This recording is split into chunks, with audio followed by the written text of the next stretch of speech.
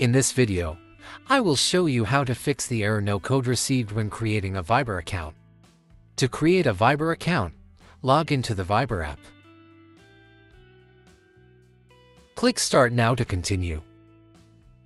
At this stage, you will need to enter your country and your phone number to create an account.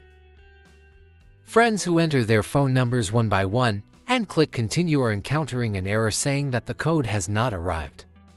Don't forget to remove any spaces between phone numbers. Click to continue. If this appears, just select Allow.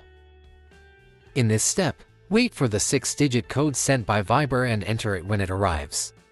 Sometimes, if you receive a call from Viber, entering the last six digits of the phone number in the code field can also work.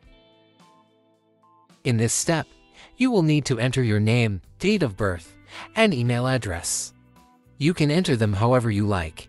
You can also add your profile photo at the same time.